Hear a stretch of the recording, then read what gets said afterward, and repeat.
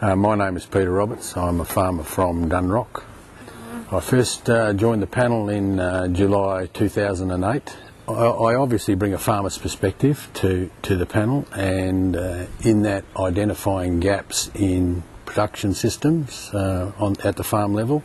Uh, being involved on Western Panel and involved in the varieties line, line of business um, usually ends up somewhere between 20 and 30 days a year being in that area, that's the area that really interests interests me. Obviously, being a farmer, I like to see uh, new varieties in the paddock and uh, see whether they perform in a way that um, um, benefits farmers by by addressing those production problems involved in those varieties. From being involved in the panel, there is um, a number of uh, farmers on the panel as well as uh, scientists and uh, people involved in research extension.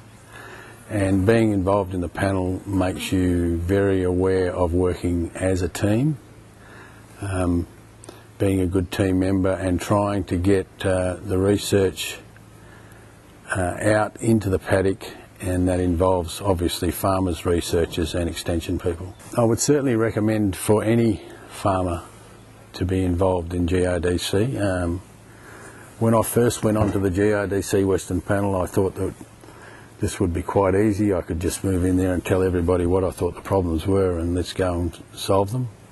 And until you drill down and find that there's obviously a whole layer of issues that need to be addressed before you can actually get those those issues addressed in the paddock. So it has been a, a very quick learning curve to be involved in this and you certainly appreciate the efforts of people involved in research in agriculture.